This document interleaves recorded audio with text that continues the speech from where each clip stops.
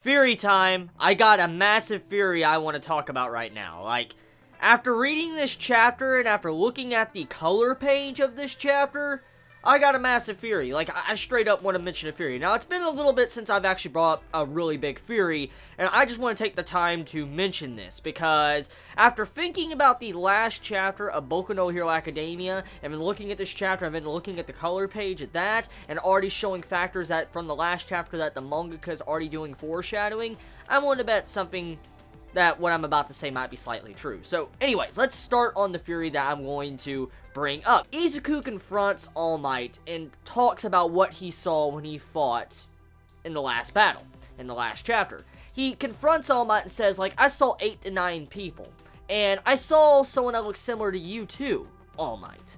And All Might kind of, you know, makes it slide to where, like, oh no, it's just, you know, you're finally integrating with One for All, and you were just using your own willpower to use your strength. So you're the one that, you know, got out of that battle safe and sound and used your own power. It was your own body and your own will, and that this One for All ability will not have these other people mess with you and control you and all that. They don't have their own will. So, pretty much All Might was trying to let us know that there is no other person inside of you, Izuku. Like, they're, they're those other people you saw were not real people. They're not going to interfere with you. You were just using your mind because you had a strong will and imagination to overcome your enemy in the last battle. That's what All Might was saying. But, after that was done, you see Recovery Girl and All Might have a quick panel. It's quick panel, you can think nothing of it, but it's clear something is indicating that there's something very suspicious or shady going on. For instance, you have it to where, like, Recovery Girl says to All Might after the room, like, he saw you.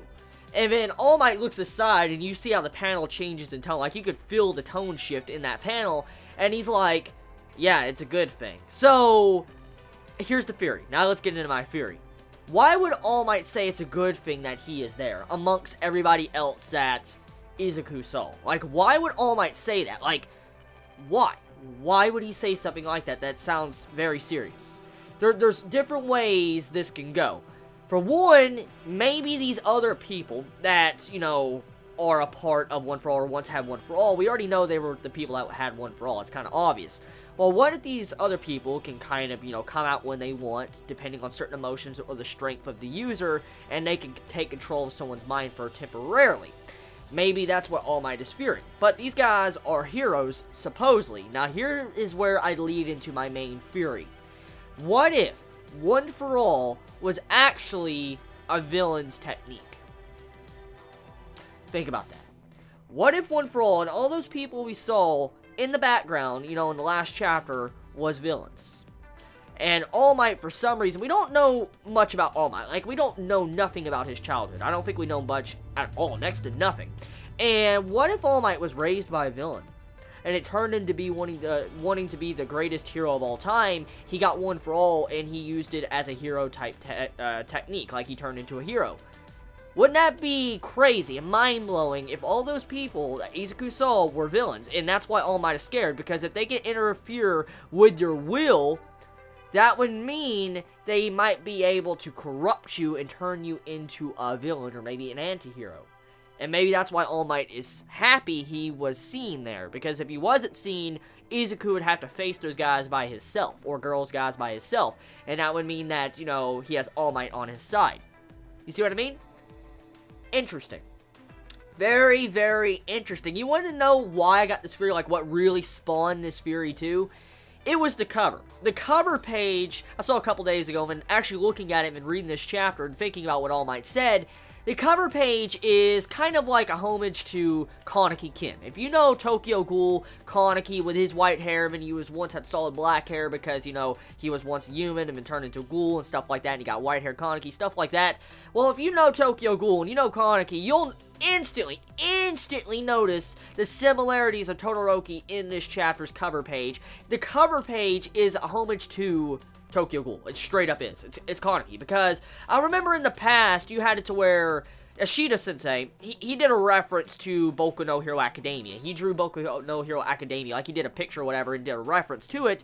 And I know for a fact that probably the writer of Boku no Hero Academia is probably kind of playing homage to respect what Ishida Sensei did to him, and probably put Todoroki as kind of like a similar character design as Kaneki. But it's really weird how this character design that looks very similar to Kaneki, and if you look at the way the actual cover page is done, it's a similar body movement as Kaneki. Like, it's the exact same way Kaneki carries himself when he had white-haired Kaneki.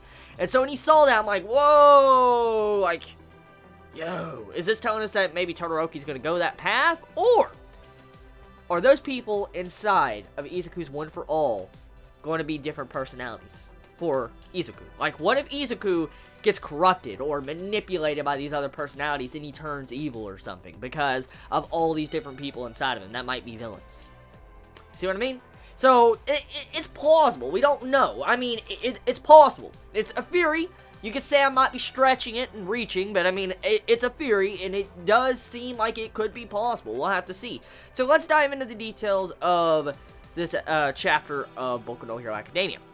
So, we have it to where, um, Izuku, after he, he's done confronting you know, All Might about the situation, we get to move into the next fight between Todoroki and this other dude. And this other dude, I don't know his name exactly, sorry if I forgot, he gets completely wrecked. Like, he, he just gets destroyed. Like, it, it, it's not even a fight. Like, seriously, it, it, was obvious Todoroki would win, but my god, man. Like, Todoroki, dude, like, his ice just went over the stadium. It went over the fucking stadium. And he wrecked this poor dude. Like, oh my god. Like, the dude didn't stand a chance. He did not stand a chance at all.